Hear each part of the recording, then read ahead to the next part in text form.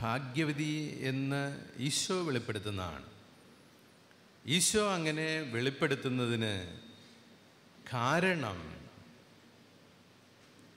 ഈശോ ഒരു വലിയ പിശാജ് ബാധിച്ച ഒരു വലിയ മനുഷ്യൻ നിന്ന് ആ പിശാജിനെ മാറ്റിക്കളഞ്ഞ് അങ്ങനെ ആ പിശാജിനെ ഉപേക്ഷിച്ച് അവനിൽ നിന്ന് ഇറക്കി വിട്ട് കഴിഞ്ഞപ്പോഴേതിന് ആളുകൾക്ക് വലിയ അതിശയമായി. ചിലർ പറഞ്ഞു ഇവനിത് സ്വന്തം കഴിവുകൊണ്ടല്ല ബീൽസുവിനെ കൊണ്ടാണ് ഇത് ചെയ്തിരിക്കുന്നത്. കർത്താവിൽ വിശ്വസിക്കുവാനായിട്ട് അവർക്ക് സാധിച്ചില്ല. പക്ഷെ ഒരു പാപം അമ്മച്ചി വിളിച്ചു പറഞ്ഞു ആ അമ്മച്ചി ഇവൻ ചെയ്ത ഈ പ്രവൃത്തി കണ്ടിട്ട് ഇതൊരു സാധാരണക്കാർക്ക് ചെയ്യാൻ പറ്റിയ പ്രവൃത്തിയല്ല. അപ്പോൾ ഇവൻ ചെയ്ത പല കാര്യങ്ങളും ഈ അമ്മച്ചി കേട്ടിട്ടുണ്ട്.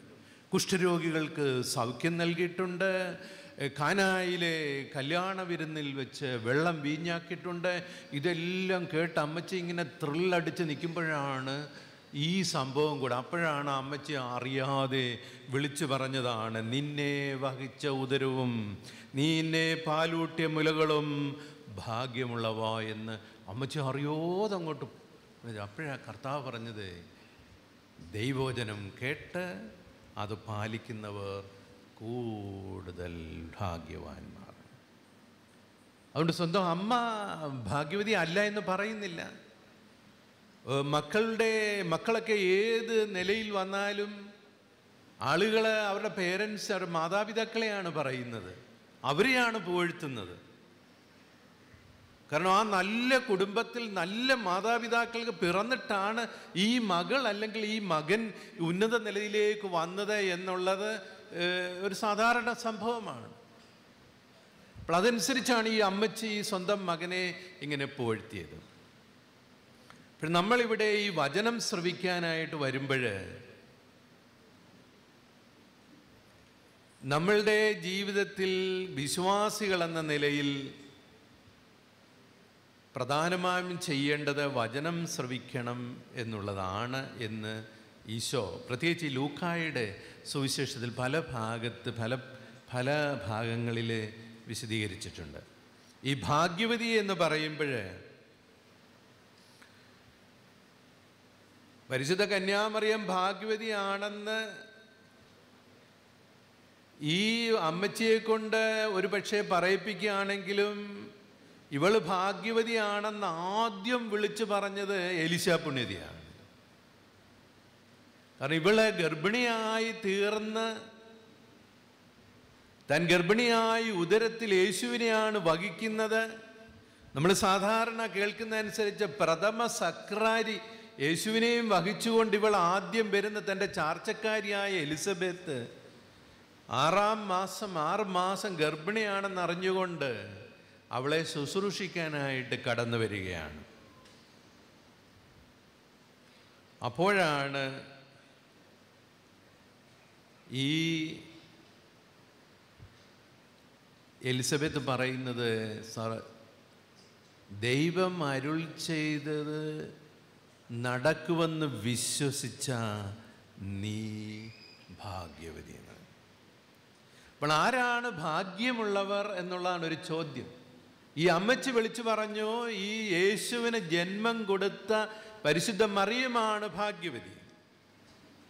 ഇവിടെ എലിസബത്തിന്റെ അടുത്ത് വന്നപ്പോൾ എലിസബത്ത് പറയുന്നു ദൈവം അരുൾ ചെയ്തത് വിശ്വസിച്ച നീ ഭാഗ്യവതി. നമ്മൾ മത്തായിയുടെ സുവിശേഷത്തിൽ അഞ്ചാം അധ്യായത്തിൽ ആരാ ഭാഗ്യവാന്മാർ എന്ന് പറയുന്നുണ്ട്. പക്ഷെ നമുക്ക് ഒരിക്കലും സമ്മതിക്കാൻ പറ്റാത്ത കാര്യങ്ങളാണ് ആത്മാവിൽ ദരിദ്രർ ഭാഗ്യവാന്മാർ. വിലപിക്കുന്നവർ ഭാഗ്യവാന്മാർ. നീതിയെ പറി വിശക്കുകയും ദാഹിക്കുകയും ചെയ്യുന്നവർ ഭാഗ്യവാന്മാർ. കരുണയുള്ളവർ ഭാഗ്യവാന്മാർ. ഹൃദയശുദ്ധിയുള്ളവർ ഭാഗ്യവാന്മാർ. നീതിക്കു വേണ്ടി പീഡനമേറ്റെടുക്കുന്നവർ ഭാഗ്യവാന്മാർ. എന്നെ പ്രതി എല്ലാവിധ ഇല്ലാത്ത കാര്യങ്ങളും നിങ്ങളുടെ മേലെ ചുമത്തുമ്പോൾ നിങ്ങൾ ഭാഗ്യമുള്ള. ഇതൊക്കെ നമുക്ക് സ്വീകരിക്കാൻ പറ്റുമോ? നീതിക്ക് വേണ്ടി വിശക്കാനോ ദാഹിക്കാനോ നമുക്ക് സാധിക്കുമോ നീതിക്ക് വേണ്ടി പടവരുതാൻ നമുക്ക് സാധിക്കുമോ ഹൃദയശുദ്ധി വരുത്താനായിട്ട് നമുക്ക് സാധിക്കുമോ? കരുണയുടെ വർഷം നമ്മൾ ആഘോഷിക്കുന്നെങ്കിലും കരുണയുള്ളവരായി തീരാനായിട്ട് സാധിക്കുമോ? ഈശോ പറയുന്നത് അങ്ങനെയൊക്കെ ഉള്ളവർക്കാണ് അങ്ങനെയൊക്കെ ഉള്ളവരാണ് ഈ ഭാഗ്യം ചെയ്തവർ അല്ലെങ്കിൽ ഭാഗ്യവാന്മാരും ഭാഗ്യവതികളും. അപ്പോൾ ഇങ്ങനെ ഈ ഭാഗ്യമുള്ളവരായി തീരണമെങ്കിൽ പൗലോസ് നമ്മൾ ആദ്യത്തെ വായനയിൽ പൗലോസ് ഗലാത്യക്കാരോട് പറയുന്ന ഭാഗമുണ്ട്. ഗലാത്യക്കാരുടെ പൗലോസ് ചരിത്രം മുഴുവൻ പറയുന്നുണ്ട്. ഒരു കാലത്ത് പ്രവാചകന്മാരും നിയമങ്ങളും ഒക്കെയാണ് ഉണ്ടായിരുന്നത്. അതുകൊണ്ട് നമ്മൾ നിയമത്തിന് വിധേയരായിരുന്നു. പക്ഷേ ഇന്ന് ഈശോയ്ക്ക് വിധേയരായിരിക്കണം നമ്മൾ. കാരണം നിയമത്തിന്റെയും പ്രവചനങ്ങളുടെയും പൂർത്തീകരണവും സാക്ഷാത്കാരവുമാണ് യേശു എന്നുള്ളതാണ്. എന്താണ് ഈ നിയമം? എന്താണ് ഈ പ്രവചനം? ഈ നിയമവും പ്രവചനവും എന്നൊക്കെ പറയുന്നത് നമ്മൾ ശരിക്കും അരച്ചു കുടിച്ച് തിരുവചനം പഠിക്കുമ്പോൾ ഈ നിയമമെന്ന് പറയുന്നതും പ്രവചനമെന്ന് പറയുന്ന ഒക്കെ ദൈവസ്നേഹമാണ് ദൈവം തന്നെയാണ് ആ പത്ത് കൽപ്പന ഇങ്ങനെ കൊടുത്തു? ഈ പത്ത് കൽപ്പനയിൽ പറയുന്ന കാര്യങ്ങളെല്ലാം ദൈവത്തെ നമ്മൾ എല്ലാറ്റിലും ഉപരിയായി സ്നേഹിക്കണമെന്നാണ് പറയുന്നത്. നമ്മുടെ സന്നത്തെ മനുഷ്യരുടെ സാധാരണ ജീവിതം അനുസരിച്ച് വിഗ്രഹാരാധന നടത്തുന്നവരുണ്ട് മാതാപിതാക്കളെ അനുസരിക്കാത്തവരുണ്ട് വ്യഭിചാരം ചെയ്യുന്നവരുണ്ട് തിന്മ ചെയ്യുന്നവരുണ്ട് കൊള്ള ചെയ്യുന്നവരുണ്ട് മോഷണം ചെയ്യുന്നവരുണ്ട് പിടിച്ചുപറിക്കാരുണ്ട് ഇവർക്ക് ഇപ്പോഴും നമ്മുടെ കൂടെ തന്നെ ഉണ്ട്. അപ്പോൾ അവിടെയൊക്കെ ഈ ദൈവത്തിന്റെ ഈ കൽപ്പന കൊടുക്കാനുള്ള കാരണം ദൈവത്തിൽ വിശ്വസിക്കുന്നവരാണെന്ന് പറയുന്നുവെങ്കിലും അവിടെ നിയമത്തിനൊരു വിലയില്ല പത്ത് കൽപ്പനയ്ക്ക് ഒരു വിലയില്ല. അപ്പം അതുകൊണ്ട് അവരുടെ ഇഷ്ടമനുസരിച്ച് അവർ ജീവിച്ചുകൊണ്ട് ഇത് തന്നെയല്ലേ നമ്മൾ ഇന്നും തുടരുന്നത്? പക്ഷേ ഇന്ന് പൗലോസ് പറയുന്നത് ഇന്ന് ഈ നിയമത്തെ ഈ നിയമം സാക്ഷാത്കരിച്ച നിയമം ജീവനായി മാറിയ ദീപം സ്നേഹമായ നിയമവും പ്രവാ പ്രവചനത്തിന്റെയും പൂർത്തീകരണമായ യേശുവിലാണ് നമ്മളെ രക്ഷ കണ്ടെത്തേണ്ടത്. അപ്പോൾ പ്രിയപ്പെട്ട സഹോദരങ്ങളെ ഈ ലൂക്കായുടെ തിരുവചനത്തിൽ കർത്താവ് എപ്പോഴും താരതമ്യപ്പെടുത്തി പറയുന്നത് താൻ വന്നത് പിതാവിന്റെ ഇഷ്ടം നിറവേറ്റാനാണ്. പിതാവിന്റെ ഇഷ്ടമനുസരിച്ച് ജീവിക്കുക. നമ്മൾ ഓരോരുത്തരും ജ്ഞാനസ്നാനം സ്വീകരിച്ച വേളയിൽ നമ്മുടെ മാതാപിതാക്കൾ നമുക്ക് വേണ്ടി എടുത്ത പ്രതിജ്ഞയാണ് നമ്മളെ ദൈവത്തിന്റെ ഇഷ്ടമനുസരിച്ച് വളർത്തിക്കൊണ്ട് വരും. ഈ മാതാപിതാക്കൾക്ക് പറ്റിയില്ലെങ്കിലും അതിന് ജ്ഞാനപിതാക്കളുണ്ട് തലോട്ടപ്പനും തലോട്ടമ്മയും ഉണ്ട് അവരുടെ ഉദ്ദേശം എന്നാ ഈ കുഞ്ഞിനെ ദൈവമകൻ അല്ലെങ്കിൽ ദൈവമകളായി വളർത്തിക്കൊണ്ടുവരുന്നത് ഒരു ദൈവമകൻ അല്ലെങ്കിൽ ദൈവമകളെന്ന് പറയുമ്പോൾ ദൈവത്തിന്റെ ഇഷ്ടമനുസരിച്ച് ജീവിക്കുന്ന വ്യക്തിയായിരിക്കും പക്ഷേ ഇന്ന് നമ്മൾ ഈ ജ്ഞാനസ്നാനം എന്നൊക്കെ പറയുന്നത് വെറും ഒരു ചടങ്ങായിട്ടല്ലേ ജ്ഞാനസ്നാനം അതൊക്കെ പറയുന്നത് ചിലപ്പോൾ ഞാൻ ഇവിടെ തന്നെ പല പ്രാവശ്യം ഇങ്ങനെ പ്രസംഗിച്ച് പറഞ്ഞിട്ടുണ്ട് കൊച്ചിനെയും കൊണ്ട് വരുന്നത് ഈ അപ്പനും അമ്മയ്ക്ക് അപ്പനും അമ്മയും കുഞ്ഞിനെയും കൊണ്ട് വരും. അത് ഈ കുഞ്ഞിനെ ഈ ലത്തീൻ ക്രമം അനുസരിച്ച് നിങ്ങൾ എന്ത് പേരിടാനാണ് ആഗ്രഹിക്കുന്നത് പറയുമ്പോൾ ഈ അപ്പൻ വെള്ളമടിച്ചെങ്കിൽ എന്തെങ്കിലും ഇട്ടോച്ചാന്ന് പറയും. കാരണം അയാൾ ഈ സന്തോഷം കൊണ്ട് തലേ ദിവസം കൂട്ടുകാരെയൊക്കെ വിളിച്ച് വെള്ളം അടിച്ച് പിശാചിനെ മുഴുവൻ ഉള്ളിലാക്കിക്കൊണ്ടാണ് ഈ കുഞ്ഞിനെ കൊണ്ടുവരുന്നത്. അപ്പോൾ പിന്നെ എന്ത് പേരിടാനാണെന്ന് ചോദിക്കുമ്പോൾ ഇത് സ്വന്തം കുഞ്ഞാണ്. കുഞ്ഞിന് പേരിടാനുള്ള ഉത്തരവാദിത്വം മാതാപിതാക്കൾക്കാണ്.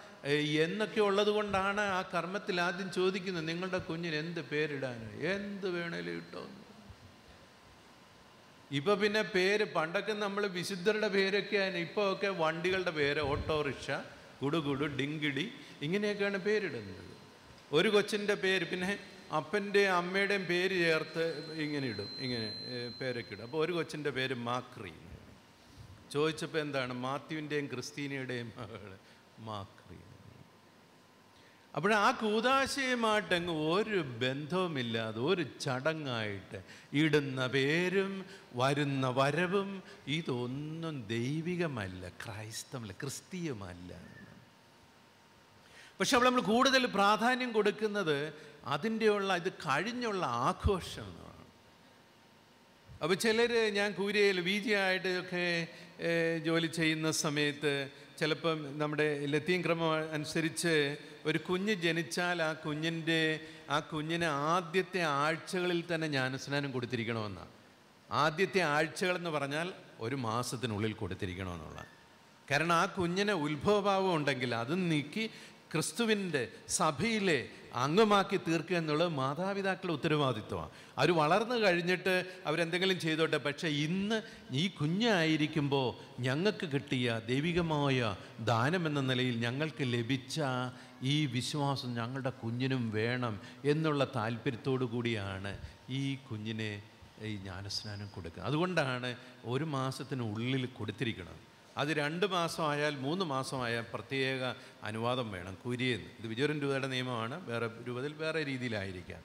അപ്പോൾ ചിലപ്പോൾ വരുമ്പോൾ എന്തോ ചിലപ്പോൾ ഒരു വർഷം കഴിഞ്ഞിട്ടൊക്കെ വരും. രണ്ട് വർഷം കഴിഞ്ഞ് എന്താന്ന് പറയും പറയും കാശില്ല എന്ന് പറയും. അപ്പം ഞാൻ നിങ്ങളുടെ വികാരിച്ചന് ഒത്തിരി കാശ് ചോദിക്കുമെന്ന്. ജ്ഞാനസ്നാനത്തിനൊന്നും കാശില്ല. പിന്നെ എന്തിനാ? ഓ അതല്ല പോത്തിനെ വാങ്ങിക്കണ്ടേ അപ്പോഴേ ഈ കുഞ്ഞിന് ക്രിസ്തുവിന്റെ സഭയിൽ അംഗമാകാനുള്ള അവസരം പോത്ത് കാരണം നഷ്ടപ്പെട്ടിരിക്കുന്നതാണ്. അപ്പോൾ എന്തിനാ പ്രാധാന്യം നമ്മൾ കൊടുക്കുന്നത്? അപ്പോൾ ഈ ജ്ഞാനസ്നാനത്തോടു കൂടി ക്രിസ്തുവിന്റെ മൗതിക ശരീരത്തിലെ അംഗമാക്കി തീർക്കാൻ വിശ്വസിക്കുന്ന വിശ്വാസികളായ മാതാപിതാക്കളുടെ ഉത്തരവാദിത്വമാണ്. അപ്പോൾ ഈശോ ഇത് ഈ ലൂക്കായുടെ സുവിശേഷത്തിൽ രണ്ടാമധ്യായം നാൽപ്പത്തൊമ്പതാം വചനത്തിലെ നിങ്ങൾ എന്തിനാണ് എന്നെ അന്വേഷിച്ചത്? അതായത് കർത്താവിനെ ഇങ്ങനെ കാണാതെ പോകും ഇനോ ഇങ്ങനെ പോകുന്ന സമയത്ത് ഇവരിങ്ങനെ യാത്രയാണ്. അവർ നാടോടികളായിരുന്നു അന്ന് ആളുകൾ. നമ്മുടെ കൂട്ടിങ്ങനെ സ്ഥിരമായ ഒരു ഭവനവും ഇങ്ങനെയൊക്കെയില്ല. അവരിങ്ങനെ ഓരോ സ്ഥലത്ത് ഇങ്ങനെ പോകുന്ന രീതിയാണ്. നമ്മളിപ്പോൾ ഈ അഭയാർത്ഥികൾ നമ്മുടെ അടുത്ത് വരുമ്പോൾ അവരെയൊക്കെ നമുക്ക് എന്തൊരു പുച്ഛമാണ് അവരവരുടെ നാടും വീടും ഒക്കെ ഉപേക്ഷിച്ച് ജോലിയില്ലാതെ വരുന്ന അവർക്ക് ഇവിടെ വരുമ്പോൾ നമുക്ക് വലിയ പുച്ഛമാണ്. പക്ഷേ അവർക്ക് അവരുടെ അവരുടെ നാട്ടിൽ തൊഴിലില്ല. അവർക്ക് ജീവിക്കാൻ മാർഗമില്ല അപ്പോൾ അത് മുൻകൂട്ടി കർത്താവ് കണ്ടുകൊണ്ടാണ് കർത്താവ് പറഞ്ഞത് ഞാൻ അഭയാർത്ഥിയായിരുന്നു അല്ലെങ്കിൽ ഞാൻ പരദേശിയായിരുന്നു നിങ്ങൾ എന്നെ സ്വീകരിച്ചു എന്ന് പറഞ്ഞു. അപ്പോൾ അതുകൊണ്ട് ഈ പരദേശികളായ മനുഷ്യരോട് നമുക്ക് പുച്ഛം തോന്നരുത്. നിങ്ങളാരും അങ്ങനെ കഴിയുന്നുണ്ടല്ല അവരെ കർത്താവാണ് അതെന്ന് സ്വീകരിക്കണം. ഞാൻ പരദേശിയായിരുന്നു നിങ്ങൾ എന്നെ സ്വീകരിച്ചു പക്ഷേ പക്ഷെ ഞാൻ പറഞ്ഞ അപ്പം ഇങ്ങനെ ഈ കർത്താവിനെ കാണാതെ പോയി ദേവാലയത്തിൽ വെച്ച് കണ്ടപ്പോഴാണ് മകനെ നിന്നെ ഞങ്ങൾ എവിടെയെല്ലാം അന്വേഷിച്ചു? എന്ന് ഈ അമ്മ ഇങ്ങനെ പറയുമ്പോൾ മാവൻ പറയാണ് നിങ്ങൾ എന്തിനാണ് എന്നെ അന്വേഷിച്ചത്? ഞാൻ എന്റെ പിതാവിന്റെ കാര്യത്തിൽ വ്യാപൃതി വ്യാപരിക്കേണ്ടതാണെന്ന് നിങ്ങൾ അറിയുന്നില്ലേ? എന്ന് അപ്പോൾ ഈശോ വന്നത് പിതാവിന്റെ കാര്യങ്ങളിൽ പിതാവായ ദൈവത്തിന്റെ കാര്യങ്ങൾ വ്യാപൃതനാകാനാണ്. എട്ടാം അധ്യായം പത്തൊൻപത് ഇരുപത്തൊന്ന് വചനങ്ങളിൽ ഇങ്ങനെ ഈ കർ- കർത്താവിന് ചുറ്റും ആളുകൾ ഇങ്ങനെ നിൽക്കുന്നു. ഞാൻ പറഞ്ഞില്ലേ കർത്താവ് അത്ഭുതങ്ങളൊക്കെ ചെയ്യുന്ന. കർത്താവിന്റെ സന്ദേശം സുവിശേഷം ജീവന്റെ വചനം ഇതെല്ലാം കേൾക്കാനായിട്ട് ആളുകൾ കൂടെ നിൽക്കുമ്പോഴാണ് ഇവർ വന്ന് പറയുകയാണ് അവന്റെ അമ്മയും സഹോദരൻ അവനെ കാണാൻ വന്നു. എന്നാൽ ജനക്കൂട്ടം നിമിത്തം അവന്റെ അടുത്ത് എത്തുവാനായിട്ട് കഴിഞ്ഞില്ല. നിന്റെ അമ്മയും സഹോദരരും നിന്നെ കാണാൻ ആഗ്രഹിച്ച് പുറത്തു നിൽക്കുന്നു എന്ന് അവനെ അറിയിച്ചു. അവൻ പറഞ്ഞു ദൈവവചനം ശ്രവിക്കുകയും അതനുസരിച്ച് പ്രവർത്തിക്കുകയും ചെയ്യുന്നവരാണ് എന്റെ അമ്മയും സഹോദരനും. പ്രിയ പ്രിയ സഹോദരങ്ങളെ നിങ്ങളിവിടെ വന്നിരിക്കുന്നത് ഈശോയുടെ ഈ ഇഷ്ടം അല്ലെങ്കിൽ ഈശോയുടെ ഈ താല്പര്യം നമ്മിൽ നിന്ന് പ്രതീക്ഷിക്കുന്ന കാര്യം ചെയ്യാൻ വേണ്ടി എന്താ ഏറ്റവും പ്രധാനപ്പെട്ട കാര്യം? ആരാണ് എന്റെ സഹോദരൻ സഹോദരി അമ്മയും ദൈവത്തിന്റെ വചനം നിറവേറ്റുന്നവരാണ്. വലിയ പള്ളി പണിയിച്ചു കൊടുക്കുന്നവരാണെന്ന് പറയുന്നില്ല. വലിയ സ്വോത്രകാഴ്ച ചെയ്യുന്നവരാണെന്ന് പറയുന്നില്ല. വലിയ പ്രസംഗം ചെയ്യുന്നവരാണെന്ന് പറയുന്നില്ല. ആരാ? അമ്മയും സഹോദരങ്ങളും പിതാവായ ദൈവത്തിന്റെ ഇഷ്ടം നിറവേറ്റുന്നവരാണ് ദൈവത്തോടുള്ള സ്നേഹത്തെ പ്രതി ഒരു പള്ളി പണിയാൻ സഹായിക്കുകയാണെങ്കിൽ കുഴപ്പമില്ല. പക്ഷേ പ്രൗഢി കാണിക്കാൻ വേണ്ടി അഹങ്കാരം കാണിക്കാൻ വേണ്ടി ഒക്കെ ചെയ്യുകയാണെങ്കിൽ അതിന് ഒരു വിലയുമില്ല. ദൈവത്തോടുള്ള സ്നേഹത്തെ പ്രതിയാണ് ഞാൻ ചെയ്യുന്നെങ്കിൽ ഈശോയുടെ സഹോദരനും സഹോദരിയും അമ്മയുമൊക്കെ ആയിത്തീരാനായിട്ട് സാധിക്കും. ഈ സമാന്തര സുവിശേഷം ലൂക്കായുടെ സുവിശേഷം എട്ട് പത്തൊമ്പത് ഇരുപത്തൊന്ന് വചനങ്ങളാണെങ്കിൽ മത്തായി പന്ത്രണ്ട് നാൽപ്പത്തി ആറ് മുതൽ അൻപതും മർക്കോസ് മൂന്ന് മുപ്പത്തൊന്ന് മുതൽ മുപ്പത്തഞ്ച് വരെയുള്ള വചനങ്ങളിലും ഈ സംഭവം വിവരിക്കുന്നുണ്ട്. ഇനി അതുപോലെ തന്നെ നമ്മൾ കാണുന്നുണ്ട്. ലൂക്കായുടെ സുവിശേഷം തന്നെയാണ് പത്താം അധ്യായം മുപ്പത്തിരണ്ട് മുപ്പത്തെട്ട് മുതൽ നാൽപ്പത്തിരണ്ട് വരെയുള്ള വചനങ്ങളിൽ മർത്തായ മറിയത്തെയും കുറിച്ച് പറയുന്നുണ്ട്. മർത്ത ഇങ്ങനെ ഈ കർത്താവിനെ കണ്ടപ്പോൾ വിളിച്ച് ഗേറ്റ് വീട്ടിൽ കൊണ്ടുവന്നു മേരി അവിടെ ഉണ്ടായിരുന്നു. മർത്ത ഇങ്ങനെ നല്ല ആതിഥ്യ കാര്യത്തിൽ അതിഥികളെ സ്വീകരിക്കാനായിട്ട് താല്പര്യമുള്ളതായിരുന്നു. ഇതെല്ലാം നമുക്കറിയാവുന്ന കാര്യമാണ്. മാർത്ത എന്താ ചെയ്തത്? മേരി എന്താ ചെയ്തത്? കർത്താവിനെ ഇങ്ങനെ നോക്കി കർത്താവിന്റെ അധരങ്ങളിൽ നിന്ന് അടർന്നു വീഴുന്ന വചനങ്ങൾ ശ്രവിച്ചുകൊണ്ടിരുന്നു. പക്ഷെ മാർത്ത ഒരു നല്ല സ്ത്രീ സ്ത്രീയായിരുന്നു. അതുകൊണ്ടാണല്ലോ വീട്ടിലൊരു അതിഥി വന്നപ്പം ചാപ്പാടുണ്ടാക്കി കൊടുക്കണം അത് ചെയ്യണം ഇത് ചെയ്യണം ഇതെല്ലാം ഇവിടെ തിരഞ്ഞ് പക്ഷെ അത് ചെയ്യുന്നതിന് കുഴപ്പമില്ലായിരുന്നു. പക്ഷേ ഇവൾ എന്ത് ചെയ്തു? ഇവൾ കംപ്ലൈന്റ് പറഞ്ഞു. കർത്താവെ നീ ഇത് കാണുന്നില്ലേ? ഞാൻ തന്നെ ഈ ജോലി ചെയ്യുന്നത് ഞാൻ കാണുന്നില്ലേ? അപ്പോഴാണ് കർത്താവ് പറയുന്നത്. നാൽപ്പത്തി നാൽപ്പത്തിരണ്ട് വചനങ്ങൾ. മർത്ത മർത്ത നീ പലതിനെക്കുറിച്ച് ഉത്കണ്ഠാകുലയും അസ്വസ്ഥയുമായിരുന്നു. ഒന്നു മാത്രമേ ആവശ്യമായിട്ടുള്ളൂ. മറിയമാ നല്ല ഭാഗം തിരഞ്ഞെടുത്തിരിക്കുന്നു. പ്രിയ സഹോദരങ്ങളെ നമ്മൾ എന്തെല്ലാം കാര്യത്തിലാണ് നമ്മൾ വ്യാപൃതരായിരിക്കുന്നത്? നമ്മൾ എന്തെല്ലാം കാര്യത്തിൽ ഒരു പക്ഷേ ഇന്ന് ഇവിടെ കൺവെൻഷന് വരണമെന്ന് വിചാരിച്ച് മനസ്സിലൊക്കെ ഒത്തിരി പ്രയാസങ്ങളെ ആരംഭത്തിൽ സൂചിപ്പിച്ച പോലെ അയ്യോ ആ കാര്യം ചെയ്യണമെന്ന് ഈ കാര്യം ചെയ്യണം. അങ്ങനെയൊക്കെ ഒത്തിരി ഒത്തിരി കാര്യം ഇവിടെ തന്നെ വന്നിരിക്കുകയാണെങ്കിലും ചിലപ്പോൾ കൊച്ചിന്റെ കല്യാണക്കാര്യം അവന്മാർ ഇത്തിരി കൂടുതൽ കാശ് ചോദിക്കുമോ ഇങ്ങനെ ചെയ്ത് കൊണ്ട് അല്ലെങ്കിൽ ഇതെല്ലാം കൊടുക്കാൻ പറ്റും. ഇതൊക്കെ ആയിരിക്കും നമ്മുടെ മനസ്സിൽ ഒന്ന് മാത്രമേ കരണീയമായിട്ടുള്ളൂ അത് മേരി തിരഞ്ഞെടുക്കുക. എന്താണ് ദൈവത്തിന്റെ വാചനം ശ്രവിക്കുകയാണ് ദൈവത്തിന്റെ വാചനം ശ്രമം ഇതാണ് ഈ കൺവെൻഷൻ അല്ലെ ഈ അച്ഛന്മാർക്ക് വേറെ പണിയൊന്നും ഇല്ലാഞ്ഞിട്ടല്ല. കാരിച്ചനൊക്കെ ആണെങ്കിൽ എപ്പോഴും ഇതന്നെ പരിപാടി. എന്താ അദ്ദേഹത്തിന്റെ ദൗത്യം ഇതാണ്. ദൈവത്തിന്റെ വചനം പ്രഘോഷിക്കുക. ദൈവത്തിന്റെ വചനം പ്രഘോഷിക്കപ്പെടണം. അതുകൊണ്ടാണ് പ്രഘോഷകർ നമുക്ക് വേണമെന്ന് പറയുന്നത്. ഒക്ടോബർ മാസം മിഷൻ ഞായറാഴ്ച നമ്മൾ ആഘോ- ആഘോഷിക്കുന്നു. മിഷൻ ഞായറിന്റെ ഉദ്ദേശം എന്താ? ദൈവത്തിന്റെ വചനം പ്രഘോഷിക്കുവാൻ ദൈവത്തിന്റെ കൂതാശകൾ പരികർമ്മം ചെയ്യുവാൻ അഭിഷിക്തർ ഈ ലോകത്തിന് ആവശ്യമാണ്. ഒരു നാട്ടിൽ ഇരുപത് വർഷത്തോളം പുരോഹിതരില്ലെങ്കിൽ ആ നാട് പിശാചിന്റെ പിടിയിലായിരിക്കുമെന്ന് പറയുന്നു. നമുക്കുള്ള കുഴപ്പം പുരോഹിതരുടെ എണ്ണം കൂടിയിട്ട് എവിടെ മുട്ടിയാലും അച്ഛന്മാരാണിത് പക്ഷെ ഓരോ സ്ഥലത്തൊക്കെ ഇരുപതിനായിരം കുടുംബങ്ങൾക്ക് ഒരച്ഛനൊക്കെയാണ്. ഒരു മാസത്തിൽ ഒരു കുർബാന പോലും കിട്ടാത്ത അവസരങ്ങളൊക്കെയുണ്ട്. സ്ഥലങ്ങളുണ്ട്. അതുകൊണ്ട് പ്രിയപ്പെട്ട സഹോദരങ്ങളെ നമ്മൾ അനുഗ്രഹീതരാണ്.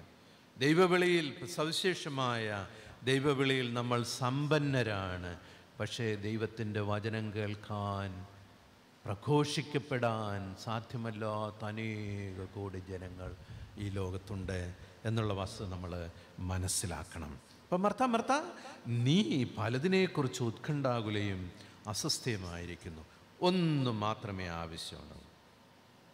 ഇനി അതുപോലെ തന്നെ ജോഹന്നാന്റെ യോഹന്നാന്റെ സുവിശേഷത്തിൽ നമ്മളിപ്പം കർത്താവ് ഇപ്പം ഈ ചിലപ്പോൾ ചിലർ പറയും കർത്താവ് അങ്ങനെ പറഞ്ഞതുകൊണ്ട് മറിയത്തെ തന്റെ അമ്മയെ തള്ളിപ്പറഞ്ഞു അല്ലെങ്കിൽ ഡിഗ്രേഡ് ചെയ്തു എന്നൊക്കെ പറയും. പക്ഷേ അവസാനം ദൈവത്തിന്റെ തിരുവുള്ളം നിറവേറ്റാൻ വേണ്ടി മറിയം ഈ ഫിയാത്ത് ഞാൻ തയ്യാറാണ്. എന്റെ ഉദരവും എന്റെ ജീവനും എന്റെ ജീവിതവും ദൈവത്തിന്റെ ഇഷ്ടത്തിന് വിട്ടു തന്നുവെന്ന് വിട്ടുകൊടുത്ത ആ ഫിയാത്ത്. യെസ് ഞാൻ തയ്യാറാണെന്ന് പറഞ്ഞ് മറിയം ഈശോയുടെ അമ്മയാകാൻ തീരുമാനിച്ച നിമിഷം മുതൽ വേദനകൾ മാത്രമേ അവൾക്കുണ്ടായിട്ടുള്ളൂ. വേദനകൾ മാത്രം. അവളുടെ വേദന നോക്കുമ്പോൾ നമ്മുടെ വേദനയൊന്നും അത്ര വലുതൊന്നും അല്ല നമുക്കുണ്ടാകും വേദനയൊക്കെ ഉണ്ടാകും. അപ്പോൾ അങ്ങനെ ഈ മറിയം അവസാനം ഈശോയുടെ ഇഷ്ടം നിറവേറ്റുന്നവർ എന്നും കുരിശിന്റെ തണലിൽ ഉണ്ടായിരിക്കും. നമ്മളിവിടെ വന്ന് പ്രാർത്ഥിക്കേണ്ടത് ഒരു കുരിശും എനിക്കുണ്ടാകും ദൈവമേ കുരിശ് തരണമേ എന്നാണ് നമ്മൾ പ്രാർത്ഥിക്കേണ്ടത്. ഈ പിതാവിന് വേറെ പണിയൊന്നുമില്ല. ഞങ്ങൾക്ക് കുരിശ് തരാമെന്നാണ്. പിതാവേ ഞങ്ങൾക്കൊരു കുരിശാണ്. എന്നിട്ട് പിന്നെ ഞങ്ങൾക്ക് കുരിശും തരാമെന്നതാണെന്നല്ല. പക്ഷേ നമ്മൾ ക്രിസ്ത്യാനികളാണെങ്കിൽ പ്രാർത്ഥിക്കണം ദൈവമേ കുരിശ് തരണമേ. എന്താ? കുരിശിലൂടെ മാത്രമേ രക്ഷയുള്ളൂ. അപ്പോൾ ഇതൊക്കെ ശരിയായ വിശ്വാസമുള്ളവർക്കേ സാധിക്കത്തുള്ളൂ. കുരിശ് നമ്മെ സംബന്ധിച്ചിടത്തോളം നമുക്കുണ്ടാകുന്ന വേദനകളാണ്. നമ്മുടെ പരാജയങ്ങളാണ്. അതാണ് എന്നെ പ്രതി എല്ലാവിധ തിന്മകളും വ്യാജമായി നിന്റെ മേൽ അടിച്ചേൽപ്പിക്കുമ്പോൾ നീ ഭാഗ്യവാൻ. വിശ്വാസത്തെ പ്രതി. നമ്മൾ ദൈവത്തിന് ഇഷ്ടമില്ലാത്ത വേലകൾ ചെയ്തിട്ട് അതിന്റെ ശിക്ഷകൾ പറ്റിയിട്ട് അത് ദൈവ ദൈവത്തെ കുറ്റപ്പെടുത്തിട്ട് കാര്യമില്ല. യോനാന്റെ സുവിശേഷത്തിലെ പത്തൊമ്പതാം അധ്യായം ഇരുപത്തി ആറ് മുതൽ ഇരുപത്തേഴ് വരെ നമുക്കറിയാമല്ലോ. യേശു തന്റെ അമ്മയും താൻ സ്നേഹിച്ച ശിഷ്യനും അടുത്ത് നിൽക്കുന്ന കണ്ടപ്പോൾ അമ്മയോട് പറഞ്ഞു സ്ത്രീയെ ഇതാ നിന്റെ മകൻ. ആ കാൽവരിയെ നിങ്ങളൊന്ന് ചിന്തിച്ചു പോയിക്കേ മാതാവ് ഇങ്ങനെ സങ്കടപ്പെട്ട് എവിടെങ്കിലും ഒളിച്ചുകൂടി എന്നിട്ട് ദൈവമേ ഇതെനിക്ക് പറ്റിയല്ലോ. ഞാൻ എന്റെ മകൻ ദൈവമാനെന്നൊക്കെ പറഞ്ഞു ഞാനതൊക്കെ വിശ്വസിച്ചു. പക്ഷേ ഇപ്പം എന്താ ചെയ്ത്? ഒരു കൊള്ളക്കാരനെക്കാട്ടിലും ഒരു അടിമയെക്കാട്ടിലും ഹീനമായ രീതിയിലൊക്കെ വിളിച്ചും പറഞ്ഞുകൊണ്ട് ഒരു മൂലയ്ക്ക് പോയി ദൈവത്തെ പഴിക്കുകയും ശപിക്കുകയും ഒക്കെ ചെയ്യും. പള്ളിയിൽ സ്ഥിരമായി പോകുന്നവർ പ്രാർത്ഥിക്കുന്നവർ നേർച്ചകാഴ്ച കഴിക്കുന്നവർ എന്തെങ്കിലും ഒരു അപകടമുണ്ടായി എന്തെങ്കിലും ഒരു അസ്വസ്ഥത ഉണ്ടായി എന്തെങ്കിലും ഒരു പരാജയം ഉണ്ടായപ്പോൾ ചിലപ്പോൾ ചെയ്യുന്ന എന്താണ്? വീടിന്റെ മൂല കയറി ദൈവത്തെ ശപിക്കും പഴിക്കും ഇനി പള്ളിയിൽ പോകത്തില്ല ഇനി ഒരു കാര്യം ഞാൻ ചെയ്യത്തില്ല. ഇതൊക്കെയാണ് പറഞ്ഞുകൊണ്ട് നമ്മൾ ചെയ്യും. പരിശുദ്ധമറിയ എന്താ ചെയ്തത്? കൂടെ നിന്നു. ക്രിസ്തുവിന്റെ കൂടെ. ക്രിസ്തുവിന്റെ അവഹേളനങ്ങൾ ക്രിസ്തു അവഹേളിക്കപ്പെട്ടപ്പോൾ കൂടെ ഉണ്ടായിരുന്നു. ക്രിസ്തുവിന്റെ കൂടെ ക്രിസ്തുവിന്റെ ചാര് നിൽക്കുന്നവർക്ക് മാത്രമേ അവസാനം ഈ അമ്മയെ കിട്ടത്തുള്ളൂ. യോഹന്നാനും അതുപോലെ തന്നെ യോഹന്നാന്റെ സുവിശേഷം യോഹന്നാൻ സ്വയം വെളിപ്പെടുത്തുന്ന അദ്ദേഹം ഈശോയെ ഒത്തിരി സ്നേഹിച്ച് ദൈവത്തെ സ്നേഹിക്കുന്ന വ്യക്തിയാണ്. യോഹന്നാന്റെ സുവിശേഷം സ്നേഹത്തിന്റെ സുവിശേഷം എന്നറിയപ്പെടും. അപ്പോൾ അതുകൊണ്ടൊക്കെ ആയിരിക്കും യോഹന്നാൻ ഇങ്ങനെ ഇതൊക്കെ ചെയ്തു വെച്ചിരിക്കുന്നത്. അപ്പോൾ യോഹന്നാൻ എന്നോട് പറഞ്ഞു എന്നിട്ട് അവസാനം പറഞ്ഞു അനന്തരം അവൻ ശിഷ്യനോട് പറഞ്ഞു ഇതാ നിന്റെ അമ്മ. അപ്പോൾ മുതൽ ആ ശിഷ്യൻ അവളെ സ്വന്തം ഭവനത്തിൽ സ്വീകരിച്ചു. പ്രിയ സഹോദരങ്ങളെ ഈ കൺവെൻഷൻ കഴിഞ്ഞ് നമ്മൾ ഭവനത്തിലേക്ക് പോകുമ്പോൾ ഈ ഒരു ഉറപ്പാണ്. ഈശോ എനിക്ക് സ്വന്തമായി തന്റെ അമ്മയെ തന്നു. പരിശുദ്ധ മറിയത്തെക്കുറിച്ച് നമ്മൾ ധ്യാനിക്കുന്ന ആ ഒരു നല്ല ഒരു ഒരു ഉറപ്പ് ഒരു പ്രത്യാശ. എന്റെ ഈശോ ഞാൻ സ്നേഹിക്കുന്ന ഞാൻ വിശ്വസിക്കുന്ന ഞാൻ ആരാധിക്കുന്ന എന്റെ ഈശോയുടെ അമ്മ. എന്റെ സ്വ- സ്വന്തം അമ്മ ആ മനോഭാവത്തോടു കൂടി നമ്മൾ ജീവിക്കുകയാണെങ്കിൽ ഒരിക്കലും നമുക്ക് ഭയമുണ്ടാകത്തില്ല. നിരാശ ഉണ്ടാകത്തില്ല പക്ഷേ നമുക്ക് സംഭവിക്കുന്ന എന്താണ്? ഈ താൽക്കാലികമായ സ്നേഹവും താൽക്കാലികമായിട്ടുള്ള വിശ്വാസവും ഇതൊക്കെയുള്ള ആചാരങ്ങളിൽ അനുഷ്ഠാനങ്ങളിൽ മാത്രം വിശ്വാസത്തെ തറച്ചിടുമ്പോഴാണ് നമുക്ക് ഭയം ഉത്കണ്ഠ. നമ്മുടെ പല രോഗങ്ങൾക്കും കാരണം ഉത്കണ്ഠയാണ് ആകാംക്ഷയാണ്. അമിതമായ ആകാംക്ഷ നമ്മെ രോഗികളാക്കി മാറ്റുന്നു. കൂടുതൽ ആകാംക്ഷ വന്നു കഴിയുമ്പോൾ നമ്മൾ ഡിപ്രഷനിലേക്ക് ഇന്നത്തെ ഏറ്റവും വലിയ ഒരു രോഗമാണ് ഈ ഡിപ്രഷൻ എന്ന് പറയുന്നത്.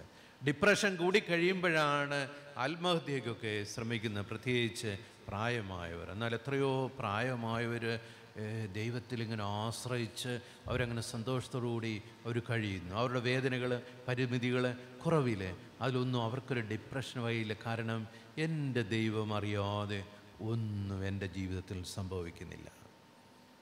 ആ എന്റെ ദൈവത്തെ ഞാൻ മുറുകെ പിടിക്കുന്നു. ഇന്നത്തെ ഈ തിരുവചനമനുസരിച്ച് നമ്മൾ ഭാഗ്യമുള്ളവരായി തീരാനാണ് ഈ വചനകൂടാരത്തിൽ വന്നെങ്കിൽ ഈശോ നമ്മളോട് പറയുന്നത് പിതാവായ ദൈവത്തിന്റെ ഇഷ്ടം നിറവേറ്റുന്നവരാണ് ഈ ലോകത്തെ ഏറ്റവും വലിയ ഭാഗ്യമുള്ളവർ. ദൈവം നിങ്ങളെ സമൃദ്ധമായി അനുഗ്രഹിക്കട്ടെ. എനിക്ക് വേണ്ടി നിങ്ങൾ പ്രാർത്ഥിക്കണം.